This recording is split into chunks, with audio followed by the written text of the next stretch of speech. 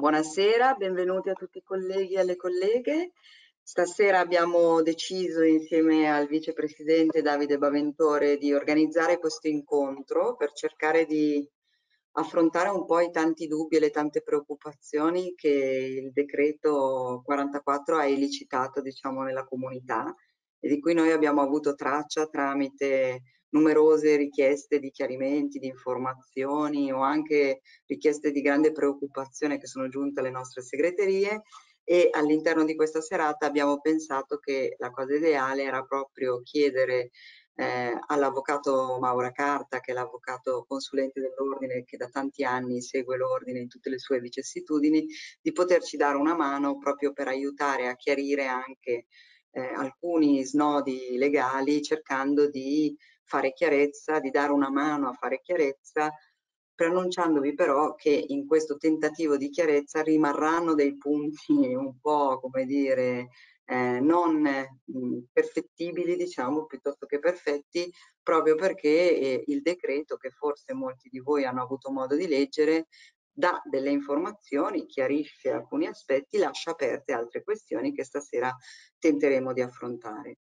Eh, noi abbiamo eh, aperto questa serata, eh, vi ringraziamo per essere così numerosi e abbiamo chiesto di porci delle domande e molti di voi hanno, come dire, fatto, eh, come dire, hanno applicato tramite il modulo. Abbiamo ricevuto circa 280 domande che abbiamo letto tutti e tre insieme appassionatamente, eh, abbiamo cercato di raggrupparle in tre filoni principali e questo sarà un po' anche diciamo, la scaletta con cui organizzeremo la discussione stasera. Eh, abbiamo deciso di eh, raggruppare le vostre questioni in tre macro argomenti. Un primo argomento riguarda le molte domande che voi avete posto a partire proprio dalle condizioni medico-sanitarie che ognuno di voi in questo periodo sperimenta o ha sperimentato.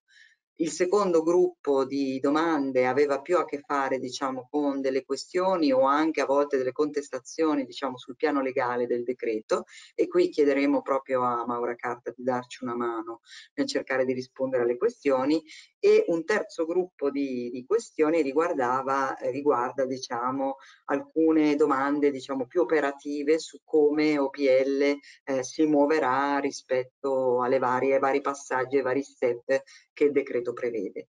Quindi io a, a, questo punto inizierei proprio dal primo macro tema che è quello che riguarda eh, le molte domande eh, che voi avete posto sul tema delle vostre condizioni mediche, sui dubbi che avete rispetto ad alcune condizioni mediche, lasciando a Davide eh, di eh, cercare di rispondere però mh, precisando anche un aspetto che noi, come dire, non possiamo darvi delle risposte concrete a tanti dubbi che voi avete portato rispetto alle vostre condizioni cliniche specifiche.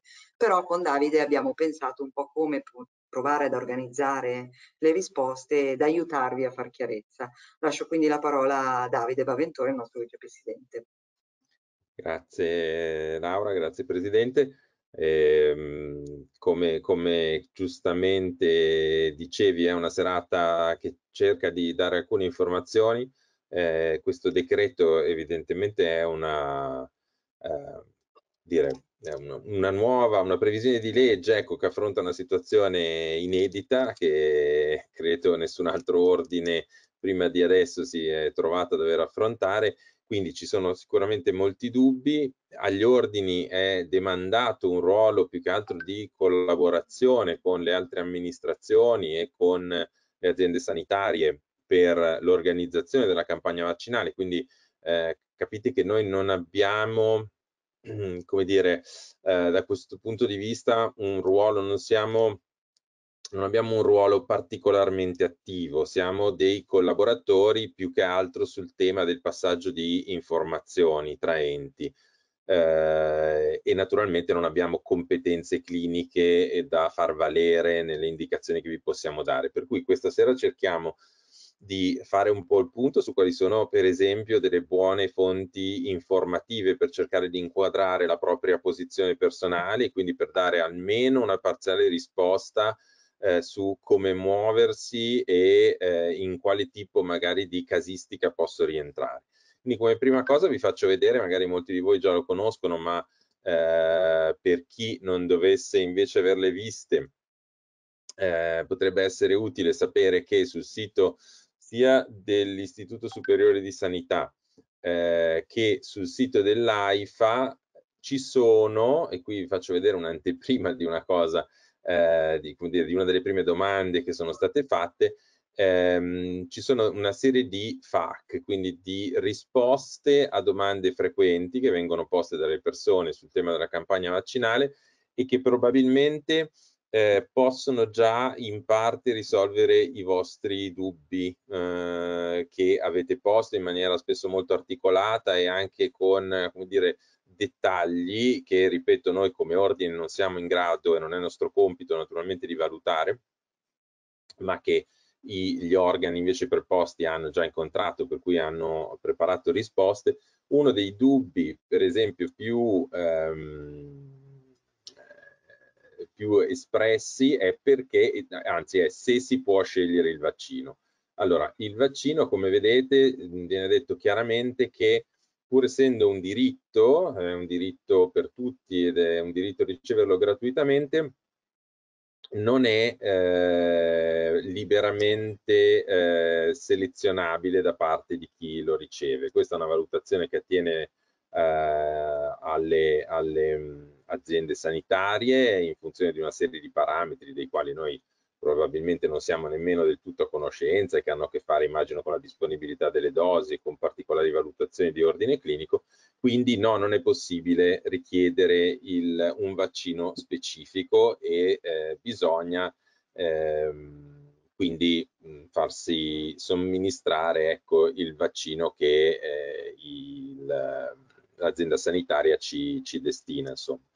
Eh, questo è un discorso che eventualmente può subire delle variazioni nel caso di particolari condizioni cliniche che non siamo noi a, a conoscere, ma che eh, potreste valutare o con il vostro medico di medicina generale o con i medici che sono presenti nei punti, ehm, nei centri vaccinali e che sono incaricati di fare con voi una raccolta anamnestica e considerarla criticamente per individuare eventuali incompatibilità o eventuali situazioni che facciano ritenere sia meglio la somministrazione di un vaccino rispetto a un altro. E spero appunto con questo di aver risposto a, a un dubbio frequente. Ehm, C'è un'altra un domanda eh, abbastanza frequente che è quella eh, rispetto al tema della, della, vaccinazione in gravidanza e allattamento. Eh, quella della gravidanza e dell'allattamento eh, ha, um, ha, un, sito del, come vedete, epicentro.iss, Istituto Superiore di Sanità.it, lì trovate le risposte proprio sul tema gravidanza e allattamento, sono risposte articolate, in generale io ho letto che ehm, c'è un un'assenza di dati fondamentalmente sulla, sugli effetti della vaccinazione, per cui vengono previste una serie di casistiche. Per esempio, il fatto che se una persona eh, viene eh, vaccinata e poi eh, eh, rimane incinta successivamente può differire la eh, seconda somministrazione del vaccino. Però vi ripeto, queste sono cose vuol dire, che non valgono come indicazione assoluta, sono, è un riportato di quanto è contenuto nel sito, ma è sempre, eh, deve essere sempre oggetto di valutazione clinica con i medici che vi seguono e quindi è sempre una cosa quale, sulla quale confrontarsi con il ginecologo nel caso della gravidanza e naturalmente il medico di medicina generale nello specifico.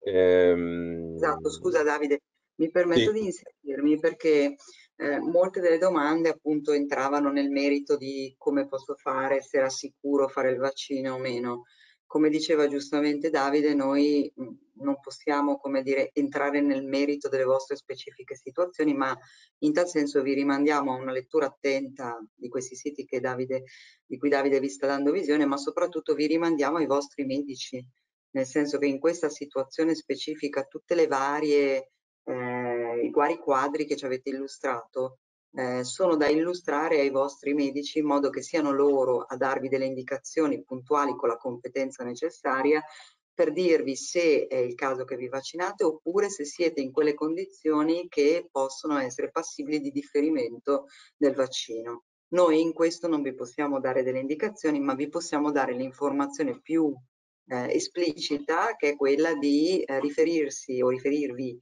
ai vostri medici di base e eventualmente al ginecologo nel caso delle colleghe incinta o altri specialisti nel caso di patologie che ci avete eh, ampiamente descritto. Um... Sì, esatto. Adesso stavo proprio eh, facendo vedere che sempre sul sito dell'Agenzia Italiana del Farmaco, dell'AIFA, è presente una serie di, di, domande frequenti che hanno a che fare proprio con eh, le condizioni cliniche specifiche e la possibilità o l'opportunità di vaccinarsi. Quindi in prima istanza, se volete controllarle, troverete una serie di disturbi, una serie di condizioni cliniche ehm, e la relativa valutazione sull'opportunità di effettuare il vaccino.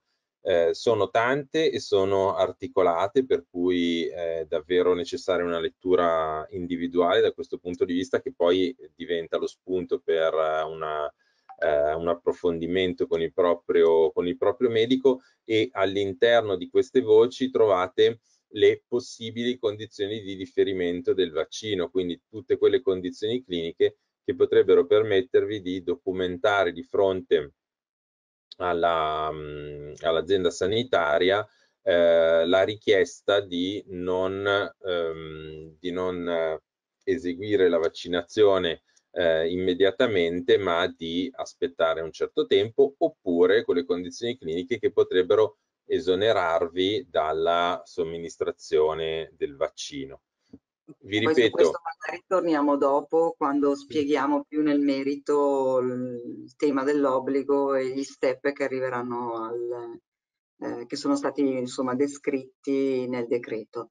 Direi che a questo punto potremmo, come dire, passare a un'introduzione che lascerei fare all'avvocato Maura Carta del decreto, per poi andare ad articolarne diciamo, la ricaduta eh, in termini di obblighi dei colleghi e degli obblighi anche che OPL deve mettere in campo per soddisfare il decreto stesso. Quindi lascerei la parola a Maura per poterci illustrare diciamo, in linea generale il decreto 44.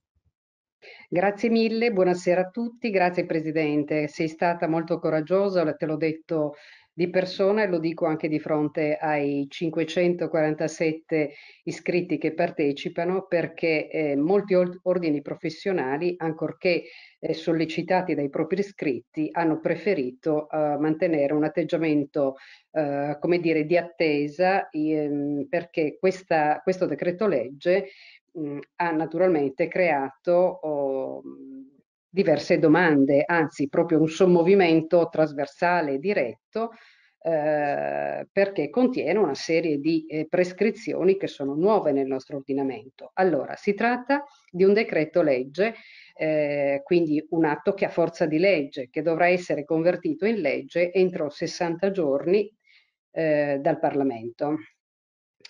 Eh, la, eh, questa, questo decreto legge contiene un articolo, l'articolo 4, che riporta delle disposizioni urgenti per la prevenzione del contagio eh, del COVID, rispetto al Covid, con una previsione ehm, importante, nuova nel nostro ordinamento, di obblighi vaccinali per gli esercenti le professioni sanitarie.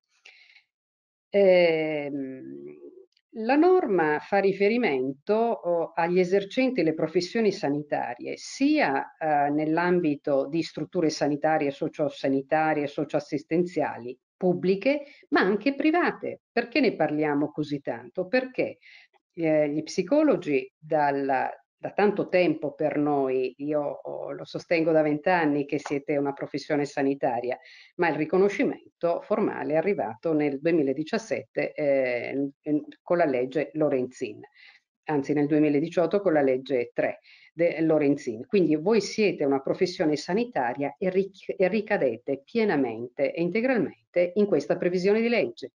Il legislatore ha stabilito un obbligo abbastanza eh, chiaro, eh, temporalmente limitato, perché la previsione eh, è riferita alla, cioè va dal primo aprile alla 31 dicembre e speriamo che per quella data l'emergenza sanitaria sia uh, un ricordo non sbiadito, ma certamente non abbia eh, i connotati e non venga declinata così come oggi tutti noi eh, la viviamo.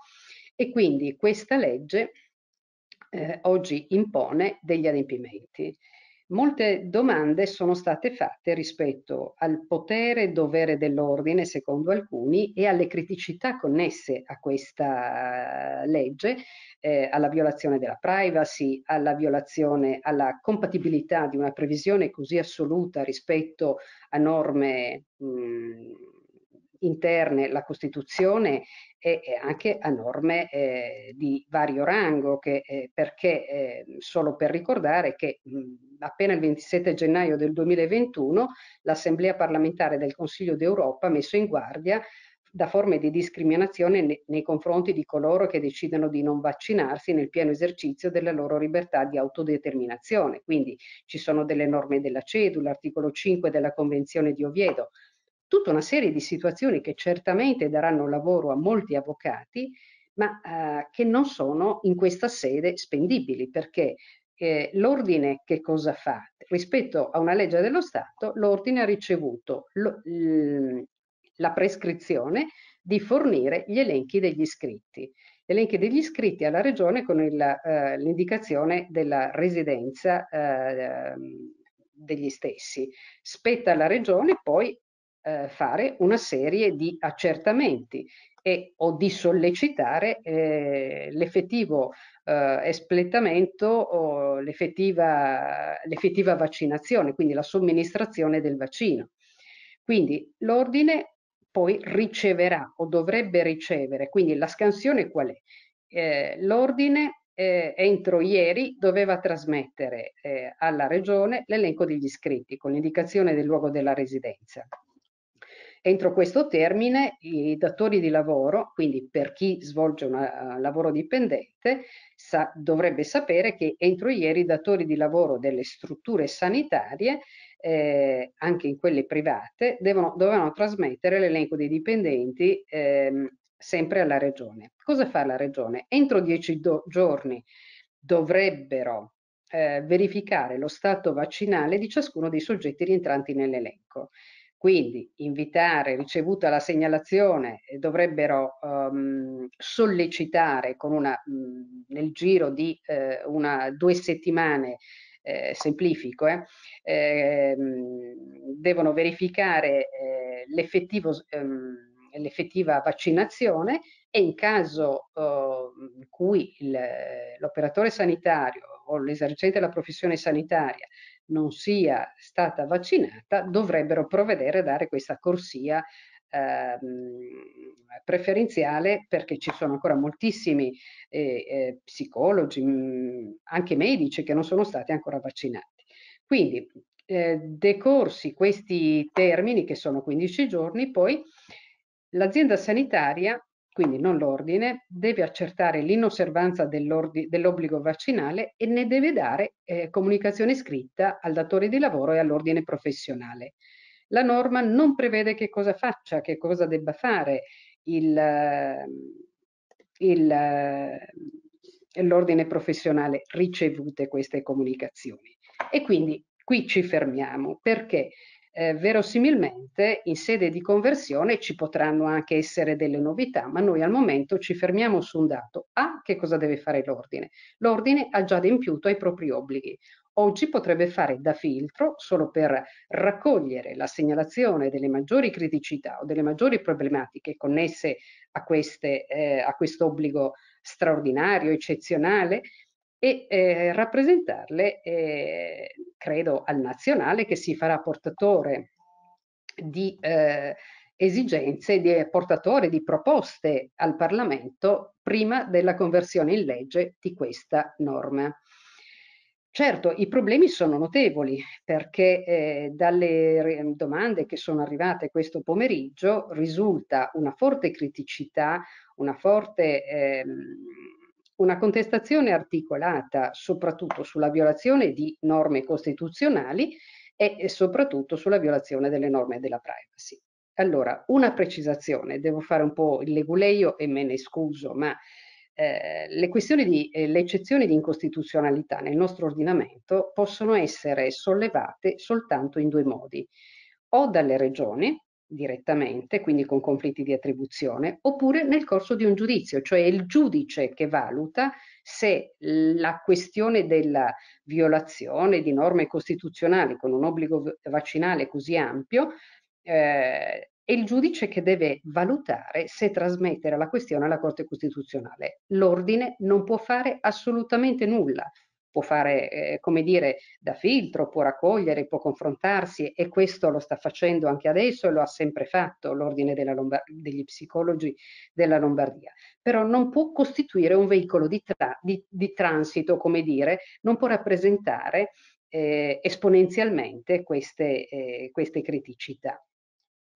Per quanto invece concerne la violazione delle norme della privacy, lo stesso decreto stabilisce espressamente e richiama il rispetto delle norme sulla privacy, perché in più punti l'intero decreto legge 44, ma certamente l'articolo 4, quello che impone l'obbligo vaccinale, richiama e prescrive l'osservanza dell'obbligo delle norme sulla privacy, cioè non c'è una circolarità di queste disposizioni che stabiliscono dei limiti, eh, che stabiliscono eh, l'obbligo vaccinale e quindi le limitazioni dell'attività in conseguenza di questa uh, violazione. Quindi in questo momento io mi fermerei qui, poi magari vediamo se riusciamo nel tempo limitato e, e nella limitatezza anche degli argomenti, così come ha rappresentato molto bene la vostra Presidente, eh, possiamo solo dare un'indicazione, possiamo mh, mm, come dire, esprimere anche dei sentimenti, ma delle risposte certe con un decreto legge che è stato emanato, pubblicato in gazzetta ed è diventato eh, imperativo e vincolante per tutti. Una settimana fa, eh, non possiamo, come dire, mh, con molta onestà intellettuale dare eh, delle risposte di cui mh, non disponiamo. Saremmo poco seri se lo facessimo. Grazie Laura. Grazie Maura. Io cerco a questo punto di tradurre, diciamo, in modo un po' più attivo quello che abbiamo fatto e quello che ci aspettiamo che potrebbe succedere, cercando anche di ricomprendere poi anche con l'aiuto di Davide magari eh, alcuni dei vostri quesiti che stanno anche arrivando proprio anche in questo momento in chat. Come ha già ben detto l'avvocato, come ordine abbiamo avuto l'indicazione di inviare le liste. Le liste sono state inviate a regione. Eh, vi ricordo che i nostri elenchi sono elenchi pubblici, quindi non c'è anche un tema di riservatezza. Noi abbiamo mandato solo il nome, il cognome e i dati che sono pubblicamente presenti nel nostro albo. Dopodiché sarà in capo appunto a regione e da decreto sarebbero previsti questi 15 giorni per l'accertamento eh, di tutte queste liste che vengono inviate da tutte le categorie sanitarie, quindi insomma parliamo di numeri molto consistenti, eh, sarà in capo alle singole, alla regione l'accertamento. Come regione effettuerà questo accertamento, non è dato sapere nel decreto che è nazionale, quello che è possibile immaginare, che noi comunichiamo con la cabina di regia dell'organizzazione del piano vaccinale di Lombardia e poi di solito Lombardia demanda le singole ATS che sono diciamo le case madri dell'organizzazione sanitaria lombarda che a loro volta si interfacciano con le SST. Quindi possiamo immaginare che le liste vengano smistate per competenza di ATS, vengano fatti dei controlli e così Regione avrà contezza di chi è già stato vaccinato, di chi non è stato vaccinato. Le persone che non sono state vaccinate e abbiamo visto le vostre domande che i motivi possono essere anche diversi, perché non avete risposto, perché non eravate presenti in Italia, perché insomma per le mille situazioni, l'aspettativa è che da questo decreto Regione dovrebbe farsi carico di richiamarvi tutti, tutti quelli che sono stati inclusi e quindi di darvi questa seconda opportunità che per noi rappresenta una terza perché noi abbiamo, ricordate, aperto già due finestre per l'adesione alla campagna vaccinale, quindi questa è una terza che da un certo punto di vista Sottolineo anche che è una buona notizia, soprattutto per i più giovani, quindi per questi nuovi iscritti che erano rimasti fuori dall'ultima finestra e che in questo nuovo invio di elenco sono tutti, come dire, ricompresi. Evidentemente noi non possiamo inviare nelle liste i nominativi di persone che non risultano ancora iscritte all'ordine. Questo lo chiarisco perché è una domanda che ci viene posta moltissime volte.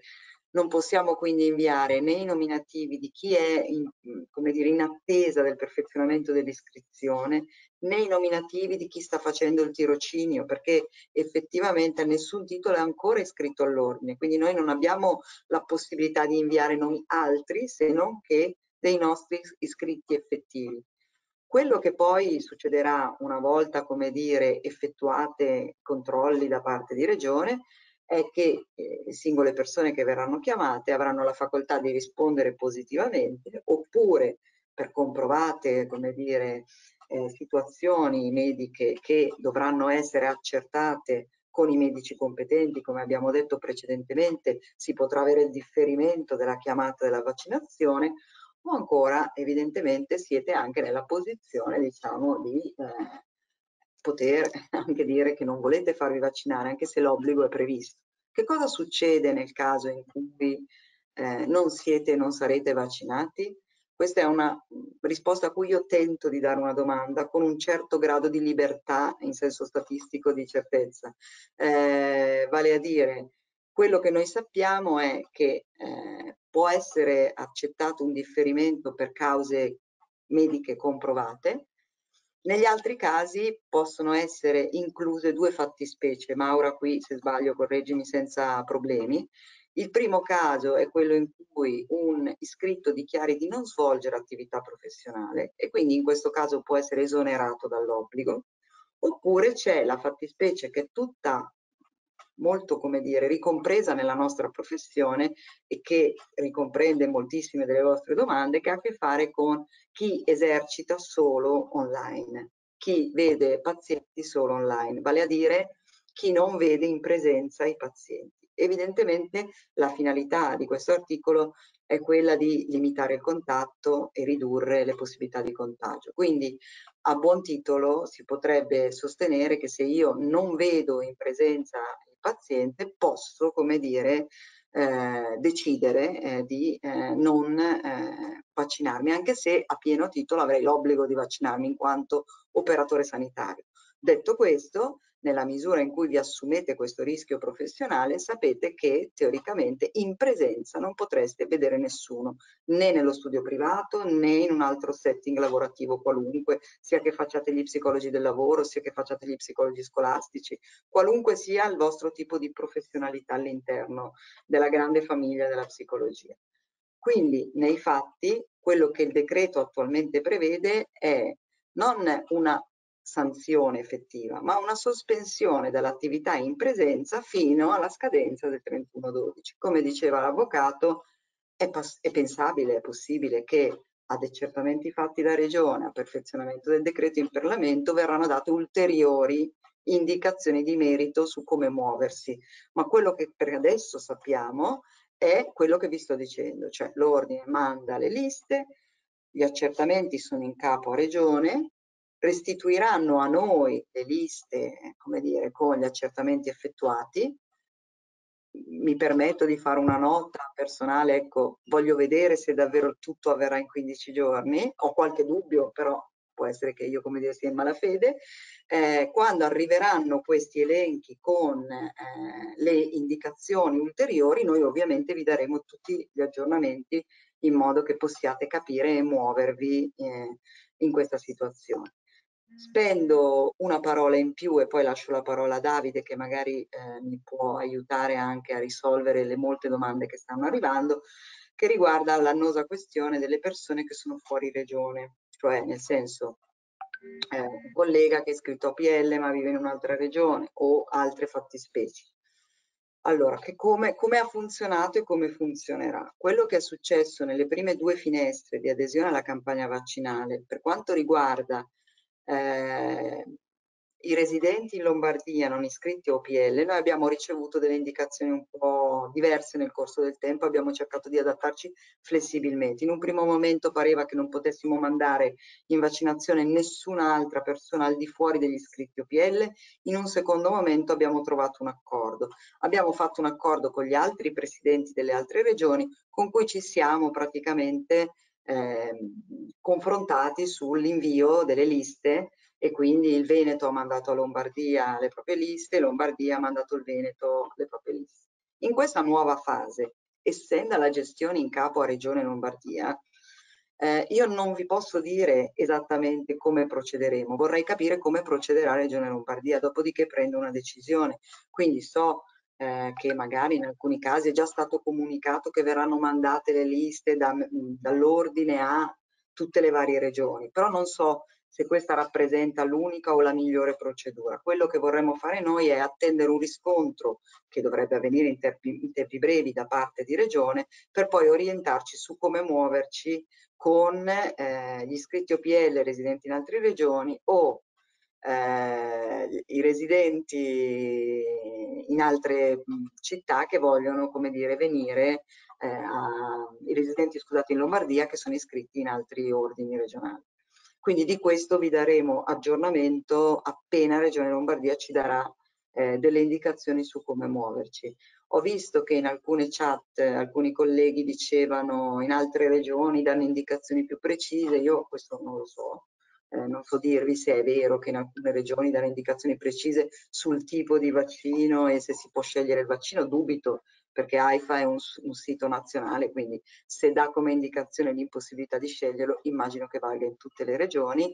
Detto questo, quello che posso fare io è darvi, possiamo fare noi qui stasera, è darvi le indicazioni di come funziona in Regione Lombardia, eh, che evidentemente eh, ha riscontrato alcune difficoltà anche in tutta questa operazione pandemica, quindi può anche avere delle difformità rispetto ad altri come dire, processi in altre regioni.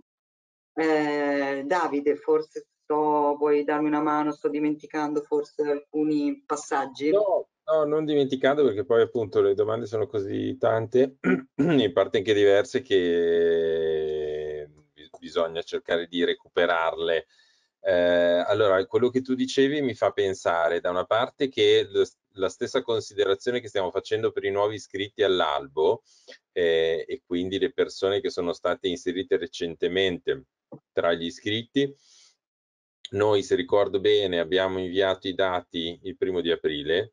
Chi era iscritto entro quella data è rientrato nell'invio dei dati. Chi verrà inserito dopo evidentemente non può esserlo e la stessa cosa è valida anche per chi ha chiesto il trasferimento perché vale lo stesso principio no? prima di essere diciamo trascritti all'interno del nostro elenco di colleghi regionali, ecco se avete già ricevuto la conferma siete stati ufficialmente inseriti, allora prima del primo aprile sarete quindi mh, rientrati nell'invio di dati fatto dall'ordine verso regione, in caso contrario no e naturalmente rientrerete tra quei casi che la Presidente diceva andranno definiti in seconda battuta quando anche noi avremo maggiore chiarezza rispetto a come Regione intende muoversi su questi casi di non sovrapposizione tra l'appartenenza a un ordine regionale e la residenza sullo stesso territorio regionale. Ecco.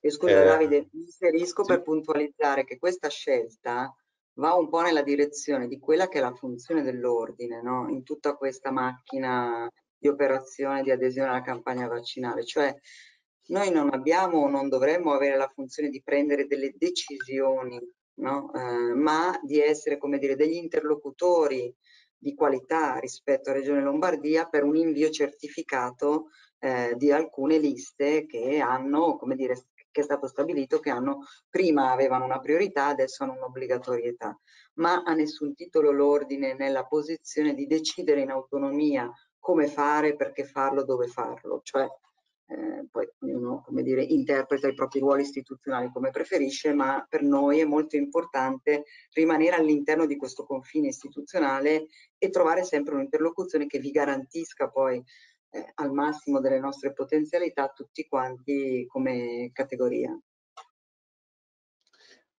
Certo, e, e, ehm, io mh, coglievo un po' l'occasione di quello che tu dicevi, cioè volevo sottolineare che in questo periodo, prima dell'uscita del decreto 44, erano stati in diversi colleghi a chiederci eh, cosa potevano fare nel caso non fossero stati ancora convocati eh, dalle ASST, pur avendo aderito alla campagna, diciamo alle finestre in cui si poteva dichiarare la propria adesione alla campagna vaccinale e rispetto a questo l'ordine non aveva dei riferimenti purtroppo da, da, fornire per il semplice fatto che come vi dicevamo prima noi abbiamo fatto da mh, collaboratori in un certo senso della sanità regionale fornendo i nominativi e i riferimenti delle persone che avevano intenzione di vaccinarsi. Ma poi la gestione si in qualche modo eh, complessifica estremamente perché i dati vengono passati alle ATS per competenza territoriale e poi successivamente smistati sulle ASST, ognuna delle quali gestisce la vaccinazione anche dal punto di vista dell'organizzazione del calendario delle, delle somministrazioni in maniera totalmente differente. Quindi non esiste purtroppo un sistema centralizzato al quale fare riferimento, almeno che noi che noi sappiamo, ecco, eh, al quale fare riferimento per esempio per recuperare un appuntamento per la vaccinazione che mh, dove non si è potuti andare, pur magari avendo cercato di avvertire. Ecco, allora questa chiamiamola terza finestra che si apre eh, grazie al decreto 44 perché tutti verranno tutti verranno convocati, a tutti quelli diciamo che non, ehm, che non possono dimostrare di aver già prenotato un appuntamento per la vaccinazione o di aver già eh, fatto la vaccinazione, ecco, a tutti verrà data la possibilità di vaccinarsi. Quindi questa è eh, una possibilità senza passare diciamo, attraverso l'interlocuzione con le singole ASST che posso capire in alcuni momenti, probabilmente per il carico di lavoro anche di questa situazione specifica, ecco, sono contatti estremamente faticosi ed estremamente incerti. Quindi questo è... Esatto. Mi Scusa Davide, mi inserisco di nuovo per dire che il lavoro io ringrazio molto, una cosa che forse non ho esplicitato abbastanza in tutti questi mesi, la nostra segreteria per l'enorme lavoro che ha sostenuto, che voi siete 20.000 con situazioni molto diverse e, e, ovviamente in questo periodo come, come, come atteso, ecco, avete però veramente investito l'ordine nel suo indirizzo dedicato eh, di questioni e domande e la segreteria ha fatto un lavoro straordinario e in questo lavoro eh, su nostra richiesta, ha continuato a tenere costantemente, direi quasi ogni 15 giorni, rapporti con tutte le 27 SST per cercare di avere contezza sul piano di chiamate. Quello che vi posso dire, da tante domande che avete fatto, è che sappiamo che ci sono delle ATS che sono andate più a rilento rispetto delle altre. Per esempio, nello specifico sappiamo che l'ATS Brianza e l'ATS eh, Pavia sono state più lente nell'operazione di chiamate, nell'organizzazione della campagna vaccinale.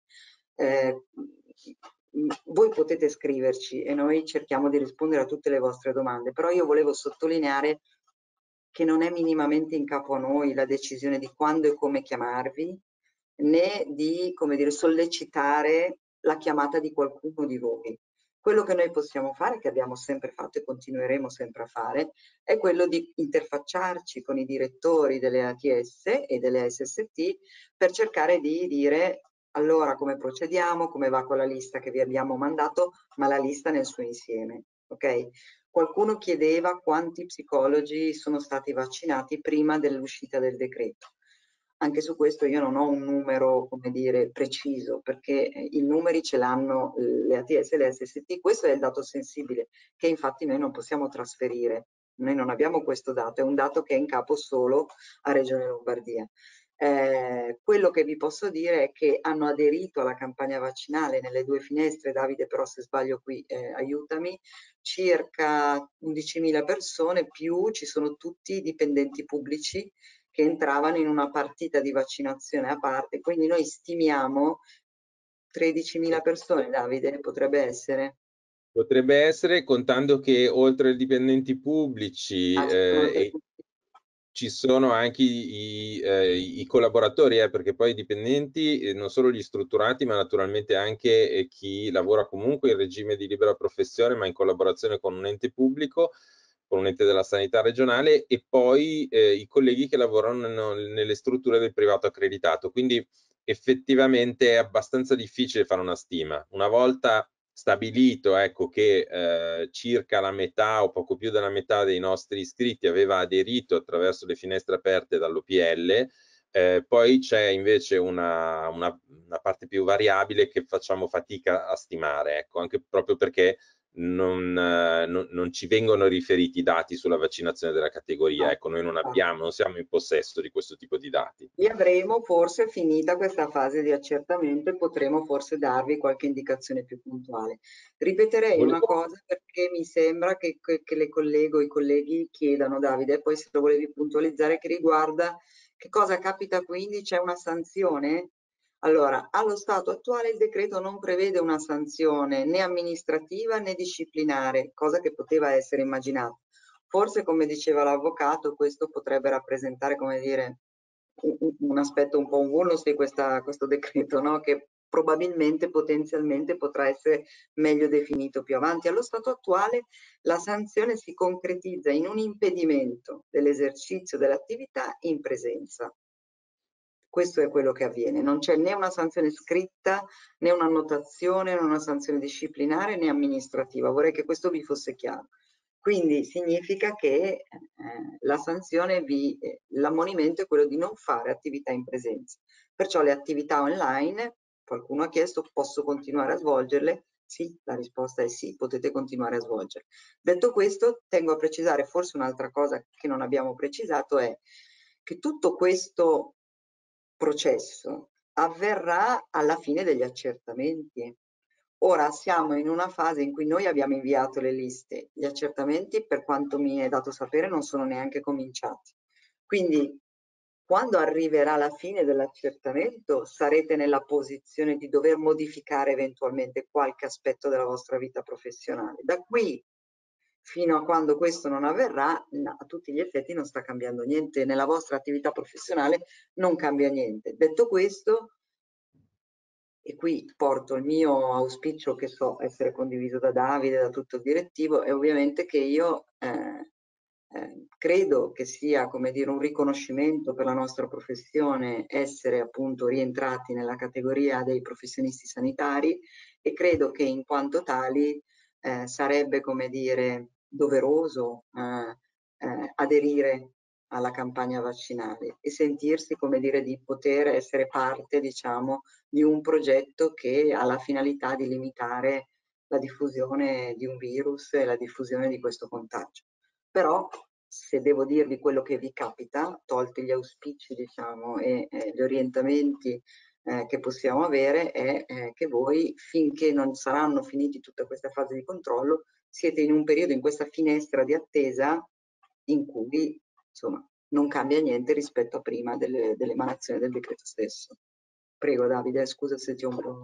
No, no, c'era una domanda mh, mm, molto, eh, cioè che mi, mi, ha incuriosito perché eh, la, la, collega mi sembra chiedeva, il tirocinio di psicoterapia rientra nell'esercizio della professione? Eh, e quindi io direi di sì, è un atto evidentemente del tutto professionale, ma ehm, in questo caso eh, dovete regolarvi con il vostro eh, con il posto dove fate il tirocinio, evidentemente, no? Perché eh, nelle strutture pubbliche eh, credo che questo tema della vaccinazione probabilmente sarà ancora più sentito che nelle strutture private. Eh, detto questo, sì, rientra nell'esercizio della professione. E dall'altra parte um, qualcuno aveva chiesto invece per uh, i tirocini post laurea quindi di persone, di diciamo futuri colleghi, quindi persone non ancora abilitate, in quel caso l'unico consiglio che secondo me possiamo dare è che eh, non siete soggetti all'obbligo, ma se voleste vaccinarvi e se fate il tirocinio, per esempio, in una struttura pubblica, è possibile che la struttura nella quale lavorate possa inserirvi eh, all'interno di un elenco di persone da vaccinare proprio in virtù del fatto che lavorate in un posto pubblico e che, ecco, quindi questa è una possibilità da esplorare per, per voi, però non rientrate in questo caso nelle previsioni del decreto 44, ecco, una, è una questione diciamo diversa. Davide, vedo che molti colleghi, perché noi nel frattempo riceviamo le vostre domande in chat, quindi se sembriamo distratti è perché leggiamo in realtà quello che ci state chiedendo. Eh, molti chiedono quindi se per motivi di salute comprovati e certificati posso subire il differimento, sono poi tenuto a eh, dover lavorare solo in presenza, eh, scusate, solo online e quindi non poter lavorare in presenza? Ecco, io a questa risposta chiederei anche Maura di darci un attimo una mano. Mi verrebbe sì. da rispondere sì, però non so, Maura, dici tu. Allora, guardate, la fattispecie è regolata eh, dalla, sempre dall'articolo 4 al comma 2. Solo in caso di accertato pericolo per la salute in relazione a specifiche eh, condizioni cliniche documentate, la vaccinazione eh, obbligatoria può, eh, non è obbligatoria e può essere omessa o differita. Ergo, siccome eh, le frasi e le parole hanno un senso, chi per ragioni mediche documentate non può essere sottoposto all'obbligo di vaccinazione mh, mm, può continuare a svolgere l'attività normalmente. Mh, mm, una puntualizzazione rispetto a quello che ha detto così bene il Presidente poc'anzi. Eh, la norma ehm, è vincolante per tutti dal primo di aprile.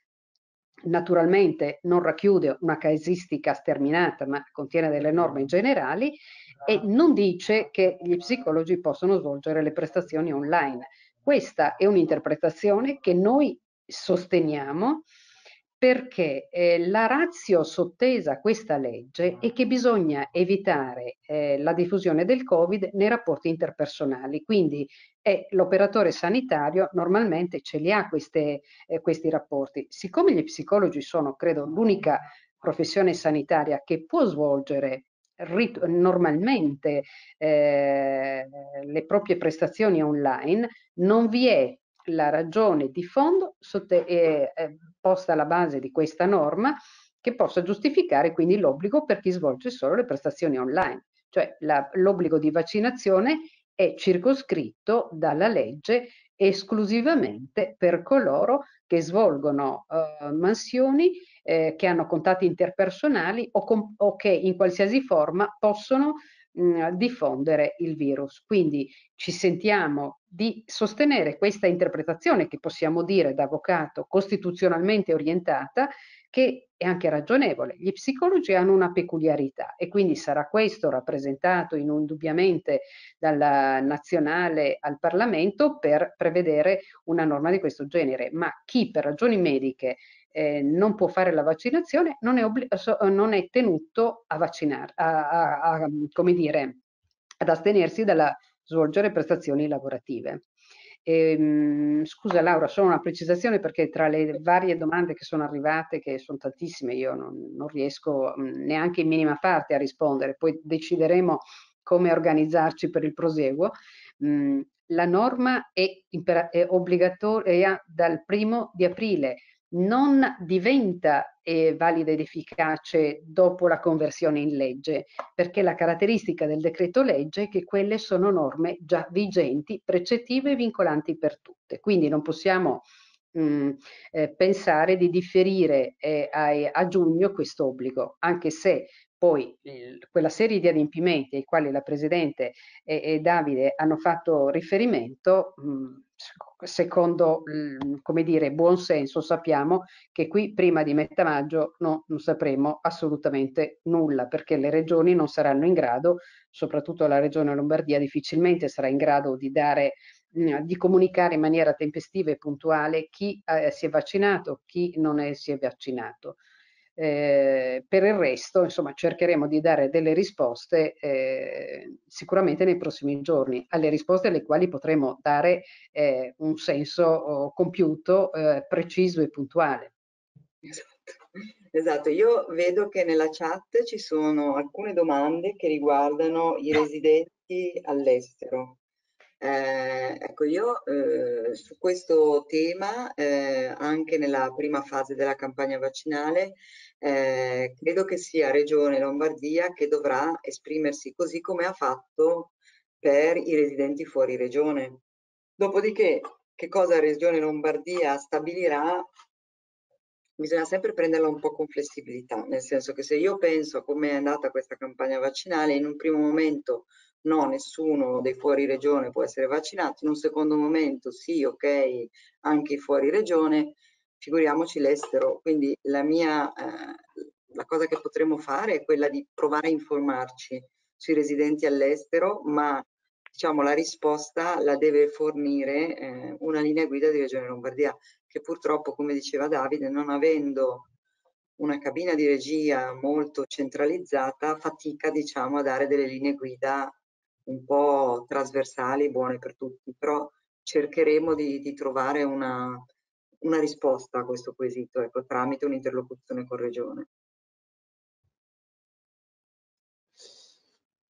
Sì, eh, forse come dire, il caso migliore è quello eh, nel quale la regione direttamente o comunque l'ATS o la SST vi contattino proprio per chiedervi conto del vostro stato no, rispetto alla campagna vaccinale e a quel punto voi potrete avere l'opportunità magari di chiedere come potete regolarvi. Ecco eh, noi evidentemente chiederemo a livello centrale qual è l'atteggiamento di regione su questi casi, al momento non lo sappiamo, se dovessero chiamarvi quella diventa un'opportunità comunque per capire come, come, come comportarsi.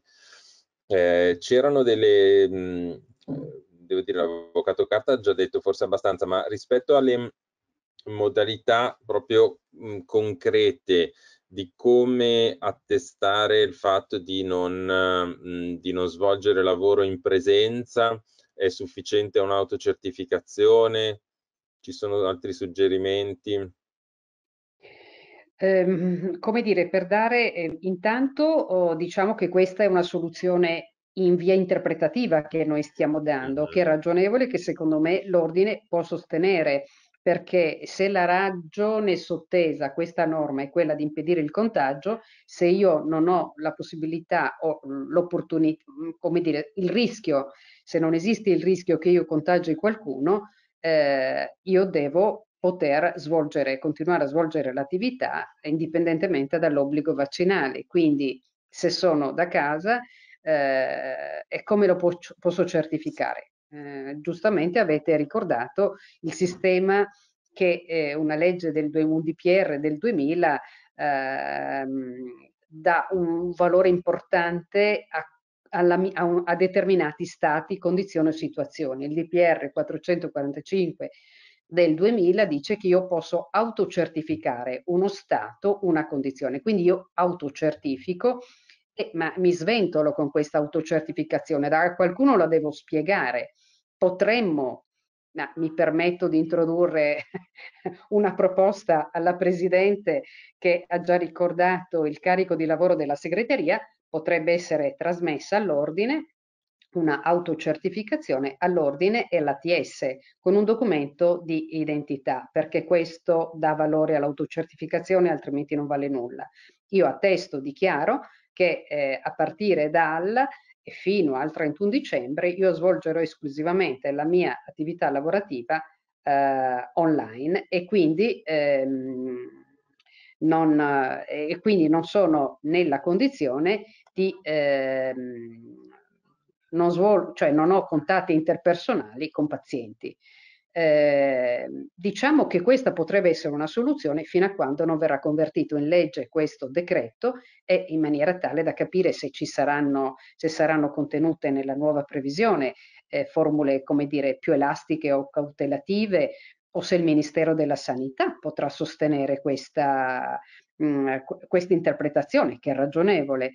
Eh, però certo io lo devo autocertificare perché altrimenti non basta che io lo dica al telefono o lo rappresenti a qualcuno. E la forma tipica è l'autocertificazione ai sensi della legge del 2000. Eh, quindi dichiarandolo e allegando un documento di identità e trasmettendolo a qualche ente. Questo secondo me non può che essere lo, o l'ordine o l'ATS o la SST o entrambi, anzi direi eh, forse meglio entrambi. Eh, dove spedire la OPL oppure la, la PEC. Ok, abbiamo perso forse un piccolo passaggio alla fine per una questione di connessione. degli ordini. Però ecco, su questo daremo indicazioni più precise, perché non possiamo eh, dire quello che oggi non sappiamo. Stiamo proponendo delle soluzioni ragionevoli e di buon senso e cercare di aiutarvi a continuare a svolgere la vostra attività senza le ansie, i patemi e i dubbi che naturalmente sono oh, scaturiti da, questa, da questo pesce d'aprile. C'è una domanda in cui chiedono se allora l'ordine comunicherà quando inizia la seconda fase, diciamo dopo la fase di accertamento del, della condizione vaccinale.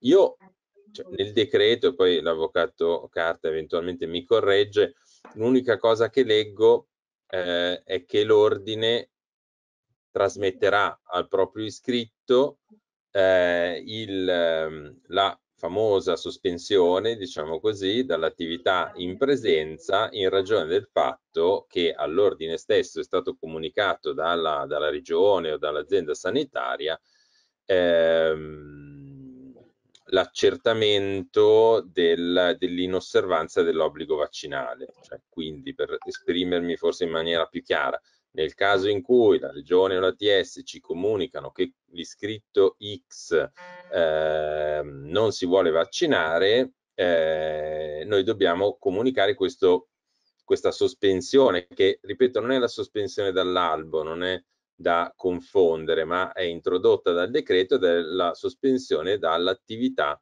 eh, in presenza fondamentalmente, no? perché si parla di contatto interpersonale e quindi da qui mh, la, la deduzione che si possa continuare a esercitare però rigorosamente appunto in modalità da remoto senza lavoro in presenza. Spero su questo, quindi non, non, non credo che noi parleremo, poi vediamo se, se, se, ci sono comunicazioni ufficiali da regione, naturalmente ne renderemo conto e le diffonderemo agli iscritti, ecco, ma non, eh, non so se ci sarà un momento in cui si dirà è finita la fase 1, comincia la fase 2, ecco, più probabile che i singoli iscritti possano ricevere o meno questa notifica di sospensione. Sì, diciamo che, come diceva anche un pochino Maura, noi cercheremo di darvi tutti gli aggiornamenti che sono possibili, come mi sembra che in questo abbiamo sempre generosamente fatto. Quindi non mancheremo nel mandarvi una newsletter nel caso in cui abbiamo degli aggiornamenti generalizzabili, diciamo, a tutti quanti. Anzi, ne approfitto per dire ma se siete qui stasera sicuramente voi siete tra quelli che hanno tutte le informazioni sul sito aggiornate, però di ricordarvi sempre di aggiornare le informazioni, la vostra mail, i vostri numeri di cellulare, i vostri recapiti sul sito, perché è proprio dal sito che noi ricaviamo le vostre informazioni. Quindi alcune richieste erano non avendo il numero di cellulare sul sito, eh, allora non sono stato chiamato. Eh, un po' sì, perché se non avete il numero di cellulare, se voi non ci comunicate i vostri numeri, noi fatichiamo a metterci in contatto con voi. Quindi aggiornate le vostre pagine in modo che siano attuali nel, nell'indirizzo di residenza, di eventuale domicilio, nel numero di cellulare, cioè utilizzate questa finestra per darci una mano nell'aggiornamento in modo che poi tutte le informazioni avvengano più completamente, più velocemente possibile. Um... Vedo ancora, scusami Laura, delle domande sul vaccino, De che tipo di vaccino ci somministreranno. Non lo sappiamo, okay. l'abbiamo già detto all'inizio, non c'è una previsione. Quando ti chiamano però, cioè nel senso che io non ho capito bene quel collega o la collega, io sento un po' un rumore di fondo, non so. Allora, io non ho capito quello che diceva la collega, il collega prima riferendosi alla Regione Lazio. Quello che succede in Lombardia è che quando ti invitano al vaccino, ti danno le informazioni sul tipo di vaccino che ti verrà somministrato, ma noi non siamo in grado di dirvelo adesso, perché non so quale ATS vi chiamerà, in quale periodo vi chiamerà, cioè il tipo di vaccino dipende dal periodo e dalla SST in cui voi ricadete, perché ogni SST ha delle sue come dire, disposizioni vaccinali, eh, delle disponibilità e quindi eh, dipenderà da quella cosa. Ma quando vi chiamano, vi danno questa informazione se ne avete bisogno. Io sento un grosso rumore di fondo, non so se è uno di voi Io ho spento il microfono in via cautelativa. Secondo me. Anch'io, quindi allora possiamo dire una delle ultime domande arrivate sono tante, chi controllerà? Eh, questo noi non lo sappiamo, però il controllo è generalizzato, quindi potrebbe controllare la Guardia di Finanza. Ricordo che se, eh, come eh, ha ricordato Davide adesso, una volta come dire, a regime, diciamo, alla fine di maggio, l'ATS o, eh, o, la regione o la SST verificherà l'inosservanza dell'obbligo vaccinale, quella persona, quel professionista sanitario eh, non può svolgere l'attività. Perché eh, l'adozione dell'atto di accertamento della inosservanza dell'obbligo vaccinale determina per sé solo ehm, eh, l'impossibilità, cioè no, l'impossibilità, eh, l'obbligo di astensione dallo svolgere l'attività professionale. E in questo caso però è un reato, quindi c'è l'ordine, diciamo, la disposizione sarebbe della regione o dell'azienda sanitaria eh, e quindi è, è um, chi eh, senza aver ottemperato all'obbligo vaccinale svolge l'attività viola un ordine dell'autorità, è un reato, il 650 del codice penale, quindi ehm, non è che lo accertano giorno per giorno, ma potrebbero accertarlo più avanti e questo può avere delle conseguenze perché espone a una responsabilità penale. Altri tipi di sanzioni non ce ne sono per i professionisti privati, per i professionisti, eh, per gli psicologi dipendenti la sanzione tra virgolette, che poi non è una vera e propria sanzione, la misura è quella della sospensione di quell'attività e deve essere adibito ad, altro, ad altra mansione. Se questo non è possibile all'interno della struttura, ehm, viene sospeso senza retribuzione, ma non è una sanzione. Quindi il regime sanzionatorio ad oggi non è definito, e eh, però senz'altro potrebbero esserci delle conseguenze come in osservanza dell'obbligo dell'autorità. Altro tipo di misura sanzionatoria io allo Stato non ne individuo. Maura, scusami, vedo che una domanda molto frequente riguarda eh, il consenso informato eh, mm -hmm. che la, il cittadino firma quando va, eh, diciamo, a, a, può ricevere il vaccino, no? E ci sono una serie di domande sulla legittimità, diciamo, di questo consenso informato. Ho capito bene, Davide? C'era una cosa del tipo non è legittimo, non è...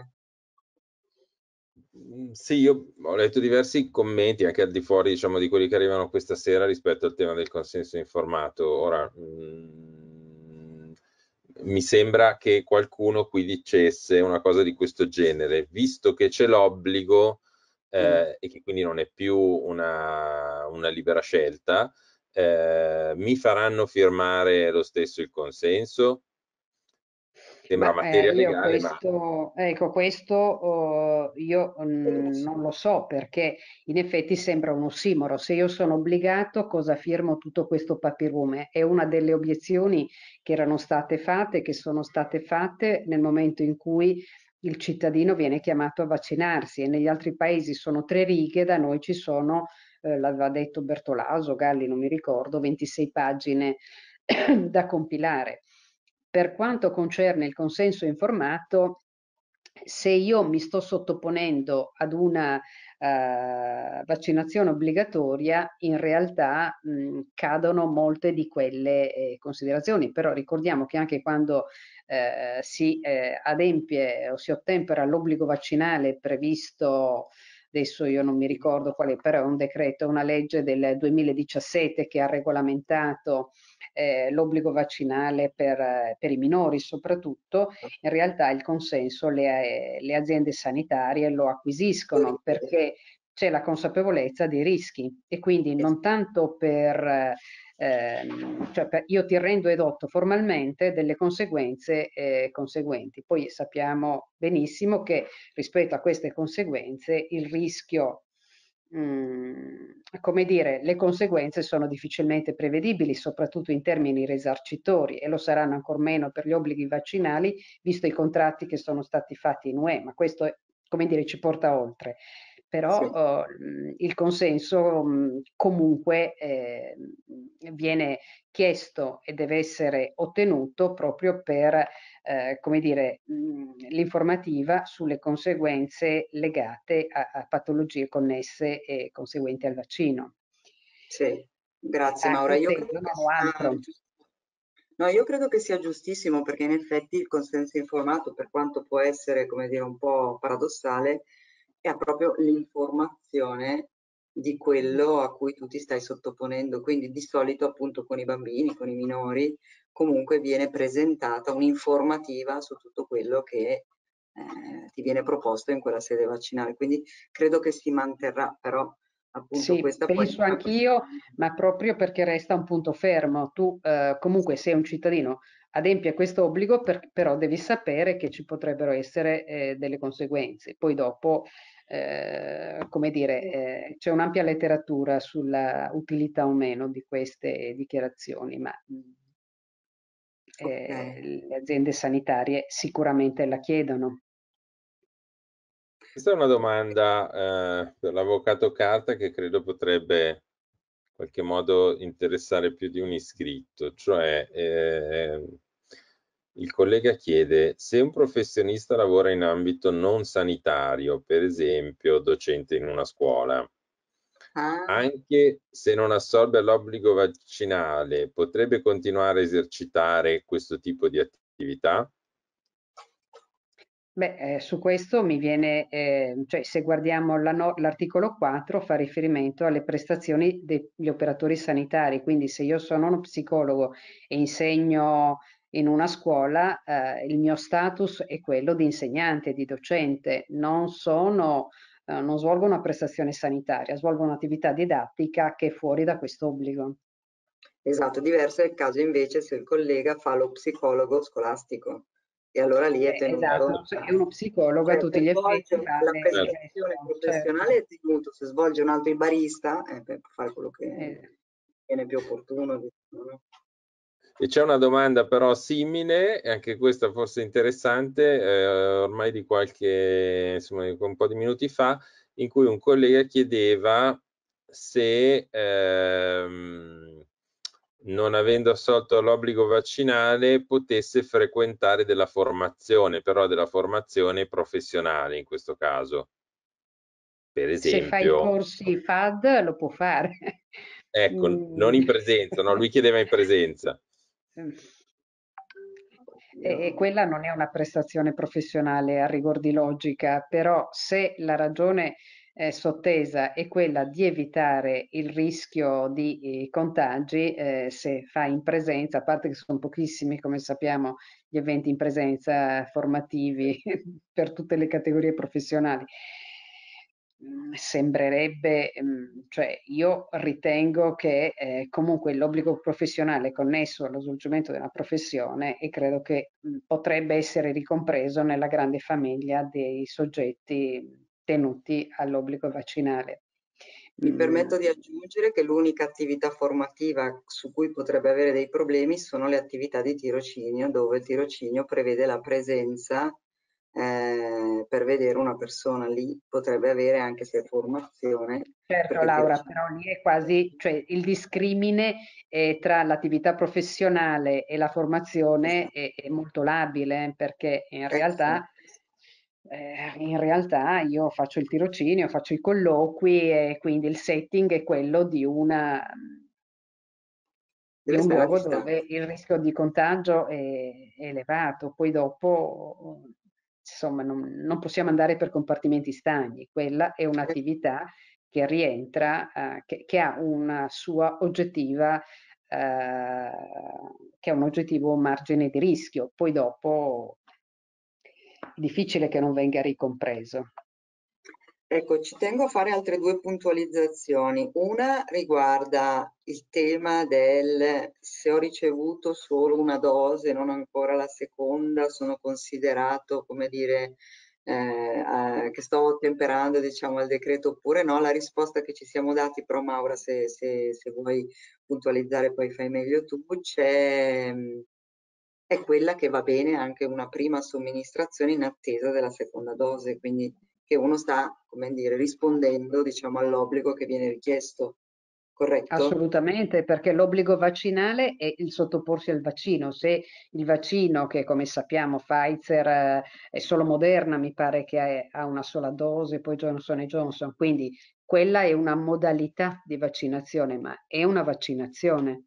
Quindi, non, non, non rientra nella disponibilità del professionista chiedere la, la, la, la, somministrazione in unica dose. No, questo direi che è abbastanza, condivido pienamente questa, questa soluzione. Se ho ricevuto la prima dose io sono vaccinato, poi il completamento della vaccinazione sarà uh, nei tempi compatibili, eccetera, eccetera, però io sono vaccinato, a quel punto uh, sono in regola. Poi leggo una domanda che, non, che, ammetto di non aver capito fino in fondo e provo a dare una risposta. Dice, qualora arrivasse la sospensione ma uno si affretta ad adeguarsi, allora viene ritirata. Ma la mia controdomanda è, non dovreste arrivare in questa condizione? Perché in questa finestra vi chiameranno e dato che voi non avete aderito prima, potete aderire adesso e quindi non dovreste ricevere nessuna sospensione. Cioè se la vostra intenzione è mi sono perso le prime finestre ma mi voglio vaccinare, avete il tempo di recupero senza entrare nella sospensione. Ecco, questo è un ulteriore chiarimento, non so se... Certo, ma poi mi arriva il provvedimento, uh, come dire, eh, mi avvisano perché la legge prevede che ci sia proprio una, una scaletta, eh, non è che eh, da un giorno all'altro dispongono la sospensione. Quindi io ho tutto il tempo, anzi ho l'onere eh, di farlo, di adempiere e di mettermi in regola. Anche perché altrimenti ci sarebbe che non sono stato vaccinato per un fatto che non dipende dalla mia volontà e quindi verrebbe meno la volontarietà della, eh, della condizione. Se non mi sono potuto vaccinare perché non sono riuscito a telefonare, sono arrivati in ritardo, le dosi erano finite e, e a quel punto non c'è responsabilità del professionista.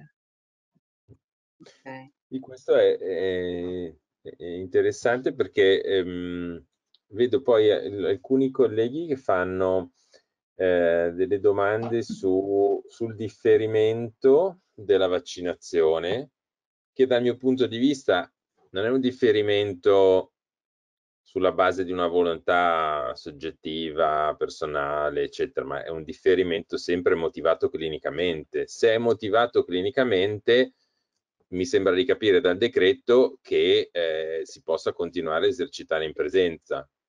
Assolutamente sì, eh, perché okay. eh, è il comma 2 dell'articolo 4. Solo in caso di accertato pericolo per la salute, in relazione a specifiche condizioni cliniche documentate, la vaccinazione obbligatoria di cui al comma 1 non è tale e può essere omessa o differita, quindi vuol dire che io posso non vaccinarmi.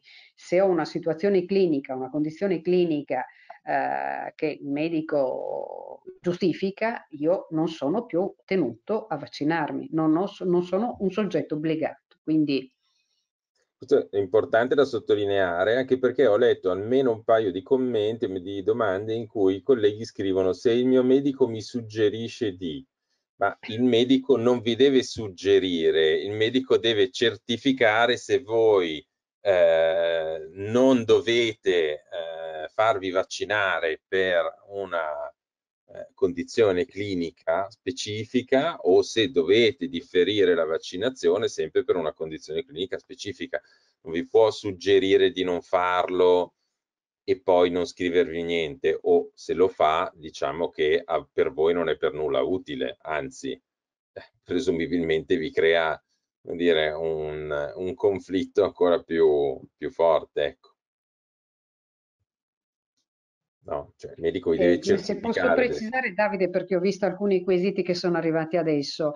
Allora, ehm, noi abbiamo concluso che se un soggetto non è tenuto all'obbligo vaccinale per particolari condizioni cliniche, quindi la vaccinazione può essere omessa o differita, in realtà può continuare a lavorare in presenza. Tutto sta, cioè questo è rimesso alla responsabilità individuale. Se una persona ehm, si trova in particolari condizioni cliniche, eh, deve valutare lui anche se esporsi al rischio di contagio anche dal paziente. Mm, dal tenore della legge sembra di capire che se si trova in una determinata condizione non è soggetto tenuto all'obbligo di vaccinazione, punto. Quindi potrebbe, usiamo il condizionale, potrebbe continuare a lavorare in presenza. Non è che deve lavorare in presenza. Se una persona non può vaccinarsi, forse è prudente che non lavori in presenza, però questa è una mia considerazione personale, ma non c'è l'inibizione perché a quel punto non c'è l'obbligo di vaccinazione e soprattutto non, la regione eh, non può disporre la sospensione dallo svolgimento dell'attività. E quindi abbiamo fatto un po' una una crasi, come dire, ma eh, la sospensione in quel caso non può essere disposta, perché se io, eh, quando io, per ragioni cliniche accertate e documentate, non sono soggetto all'obbligo vaccinale. Quindi non posso essere sospeso, il che vuol dire che posso anche lavorare in presenza. Oppure, forse, è più prudente che io non lavori in presenza, perché ho un rischio maggiore, non lo so, ecco. Certo. Beh, probabilmente poi questi aspetti, come dicevamo all'inizio, verranno anche chiariti quando passeremo certo. no? dal decreto in Parlamento e magari lì eh, si deciderà una linea più restrittiva oppure una linea più di apertura, lo vedremo anche, faremo eventualmente, daremo anche noi certo. aggiornamenti. Capiamo che dal punto di vista strettamente del, del senso sembra, non lo so, perdere un po' di senso, no? il fatto che una persona non vaccinata possa comunque esercitare in, pre in presenza perché eh, non può vaccinarsi o perché deve differire la vaccinazione sembra comunque contrario diciamo, all'interesse di salute pubblica che poi è il motore eh, che ha dato origine a questo decreto.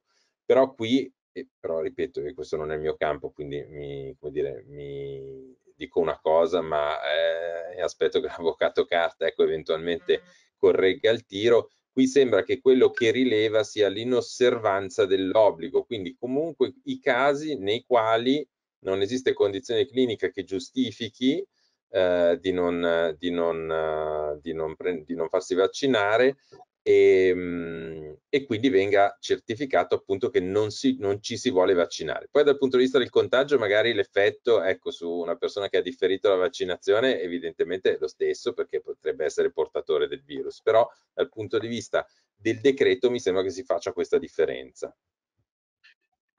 Quindi, Confermo ecco. che è così. Eh. Cioè l'azienda la, la, sanitaria locale eh, non può disporre la sospensione se c'è una motivazione, eh, la sospensione dell'attività, se c'è una motivazione che preclude eh, la, vaccina la, vaccinazione, se c'è una ragione clinica. Quindi, insomma, avete un certificato, sì è giustificato e io non posso essere sospeso. Poi dopo, altra questione come le modalità di svolgimento dell'attività, però io posso continuare, cioè non sono sospeso, non posso essere sospeso. Poi tutte le altre considerazioni, come dire, sono quelle che avete inteso perfettamente. Eh sì. Ho visto alcune, scusa Laura, non so se volevi andare verso la chiusura, visto che siamo andati anche oltre forse l'orario no, che avevamo. perché non vedevo altre domande, ma se tu le hai, prego Davide, io non, non vedevo ulteriori. Diverse domande molto specifiche rispetto a delle condizioni di lavoro che non sono minimamente previste dal decreto. Per esempio, io non sono vaccinato, non ho diciamo, rispettato, adempiuto l'obbligo vaccinale, però eh, vedo in, in, presenza un paziente vaccinato che mi fa una liberatoria rispetto al fatto che io non sono vaccinato. Cioè tutto questo tipo di, eh, di casistica non è minimamente contemplato da questo decreto, quindi è molto netto, no? Eh, o hai una giustificazione clinica per cui non puoi vaccinarti o ti devi vaccinare, altrimenti lavori solo online, lavori solo da remoto. Quindi non ci sono tutte queste sottigliezze, possibilità interpretative, scamotage. No, non è più una scelta, Davide, è un obbligo, quindi taglia ah. fuori tutte queste possibilità che sarebbero previste in una condizione di non obbligatorietà.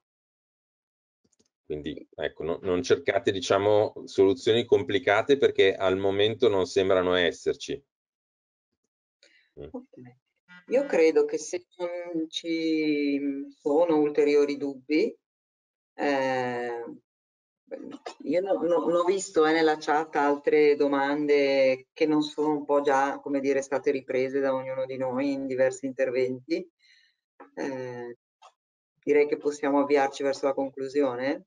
Che dici Davide? Tu che hai più il controllo più attento alla chat. Sì, ce ne sono tantissime, alcune sono anche ripetizioni di cose che abbiamo già detto e quindi sì. Mh, ecco, eventualmente si potrà rivedere la registrazione. Sì certamente possiamo rivedere la registrazione e possiamo anche immaginare che se poi, come dire, eh, possiamo anche fare una seconda edizione di questo tipo di incontro, magari più avanti, quando si chiariscono magari la posizione di regione, quando si chiarisce meglio, diciamo, il percorso del decreto, no? Potremmo organizzarne un altro in modo da aiutarci, diciamo, a, a stare, diciamo, in questo processo di trasformazione del decreto eh, in Parlamento.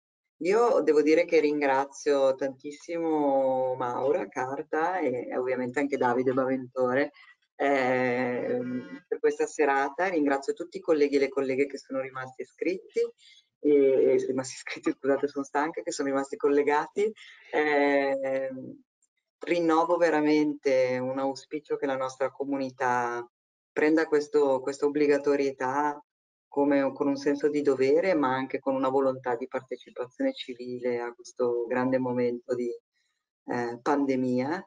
Eh, e spero diciamo, che eh, riusciamo anche a viverla da un punto di vista, insomma, non solo come un obbligo, ma come una possibilità, no? una possibilità di tutelarci, B, di tutelare i nostri pazienti e C, di sentirci anche parte di un riconoscimento che in questo anno di pandemia per la nostra comunità diventa sempre più evidente come categoria professionale. Quindi io lo voglio leggere, diciamo, in positivo. Eh, io... Prego Davide, scusami. Vai, sì, scusami, perché proprio quello che stavi dicendo mi, mi, mi ha fatto eh, pensare a una, a una riflessione molto semplice.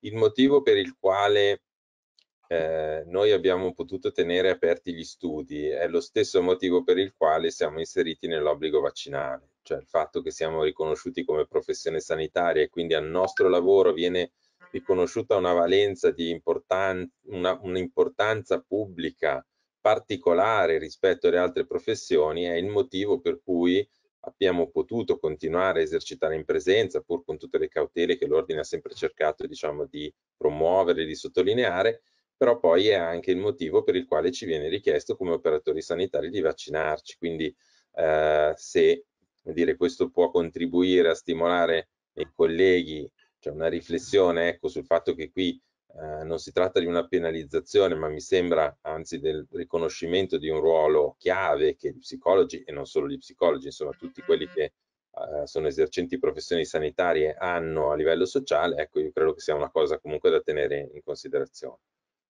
Bene, anch'io ringrazio, scusa Laura, anch'io mm, grazie a tutti i 300 e passa che eh, ci hanno ascoltato e eh, con la prospettiva di eh, cercare di dare delle risposte magari più puntuali rispetto a quelle in qualche modo, mh, mm, eh, come dire, più disarticolate che almeno per quanto mi riguarda ho dato questa sera e nella, eh, condivido pienamente le valutazioni che avete espresso sull'importanza degli psicologi oggi profe, professionisti sanitari a tutti gli effetti e devo sottolineare che eh, il Covid è stata anche un'occasione eh, straordinaria dal punto di vista storico proprio per valorizzare la vostra uh, figura professionale rispetto ai, dram ai drammi, alle, ai problemi originati da questa malattia e quindi come una importante occasione di lavoro. Quindi, come dire, tutti pronti perché voi lavorerete molto di più eh, in seguito o, o, per questa epidemia. E quindi questo vi responsabilizza molto e forse questa è una delle ragioni per cui il legislatore è andato anche molto, mm, come dire, in questa inclusione di tutte le figure sanitarie perché non l'ha previsto soltanto per i medici e per eh, per gli infermieri, ma per tutte le professioni sanitarie sicuramente un pensiero speciale eh, è stato esteso agli psicologi, perché oggi sono diventati protagonisti, siete diventati protagonisti a pieno titolo di uh, un'emergenza, dell'emergenza che sappiamo. Grazie per averci ascoltato. Grazie Maura, grazie Davide e speriamo di riaggiornarci presto e di, come dicevano benissimo Davide e Maura, di continuare a lavorare per un maggior riconoscimento anche, come dire, eh, dal punto di vista della nostra professione da tanti punti di vista, anche e soprattutto in quello dell'occupabilità, che sarà sempre l'argomento su cui noi come OPL lavoreremo e ci impegneremo nei prossimi anni della lo, nostra. Lo stiamo facendo, io vorrei, ecco, mh, stavamo chiudendo e vorrei salutare tutti, ma non, non perdo l'occasione di dire che, non, dire che noi non parliamo solo di obbligo vaccinale, ma continuiamo nell'interlocuzione istituzionale a chiedere che eh, Regione riconosca la eh, necessità di interventi sulla salute mentale, quindi di evidentemente finanziare interventi psicologici. Scusate per la chiosa, come dire, più politica. Okay, Ma questo è il RIPS, come dicono gli avvocati, no? Proprio a causa e per via del Covid. oggi ce n'è molto bisogno e quindi lo riconoscono tutti in ogni sede, livello e ambiente, quindi speriamo. Anche, anche noi, perfetto, va bene. Grazie a tutti i colleghi Grazie. e Grazie. ci riaggiorniamo a presto. Buonanotte. Buonanotte a tutti, grazie. A tutti.